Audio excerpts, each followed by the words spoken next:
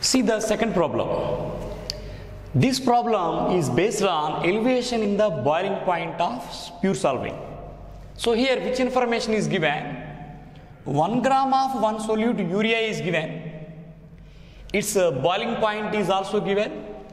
Aqua solution containing 1 gram of urea boils at boiling point of solution is given. Here the solution is aqueous. So what is uh, boiling point of pure water? That means T naught. Take 100 degrees centigrade. Similarly, second solute that is glucose 3 grams is dissolved in the same amount of solvent. In the first solution, second solution, solvent is same and amount of solvent is also same. But uh, first solution boils at 100.25. Then 3 grams of this glucose solution boils at uh, which temperature? Asking. So for that he here one term is missing. What is that?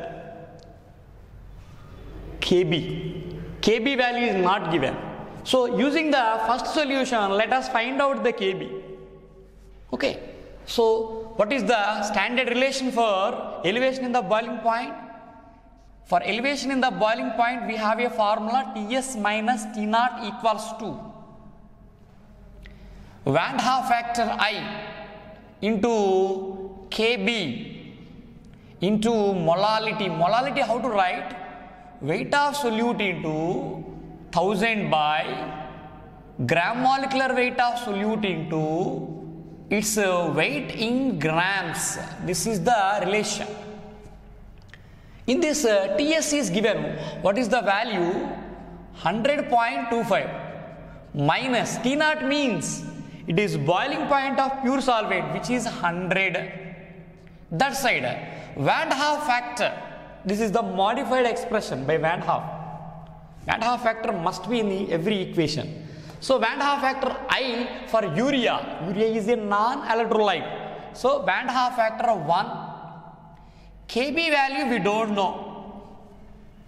W1 also we don't know.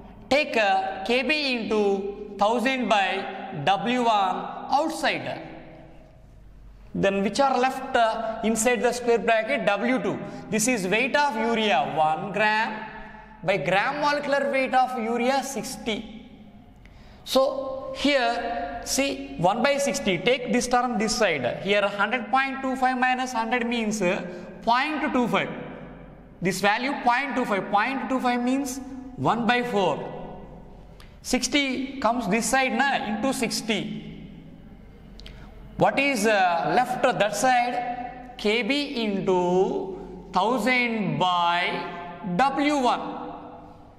That is weight of solvent. So we got uh, a value for Kb into 1000 by W1. Now let us write another expression, another formula for the second solution.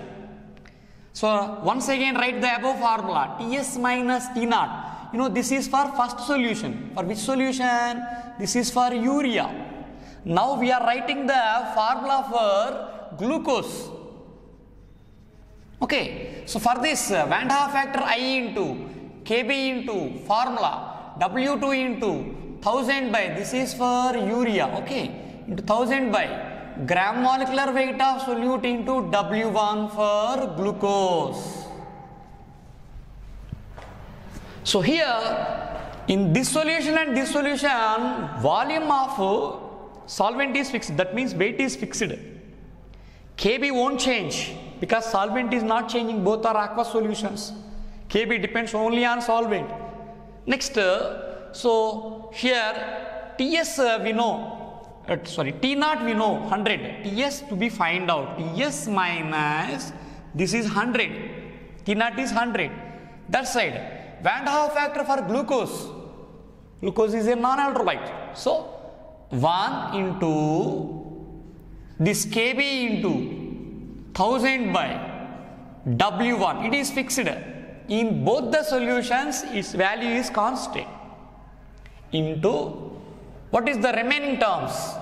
W2 weight of glucose 3 grams by its molecular weight. What is molecular weight of glucose? 180 okay now substitute its value Now Ts equals to minus 100 if goes that side plus 100. So 100 plus 1 into something that means something. So kb into 1000 by W1 already we have that value. What is that? 60 by 4 into it is already 3 by 180. 3 by 180. Now its value is 60 in 180 how many times? 3 times. 3 3 gets cancelled. So 1 by 4 is left over. 1 by 4 means 0.25 so answer is 100.25 degree centigrade. Where is it? 100.25 degree centigrade is in second option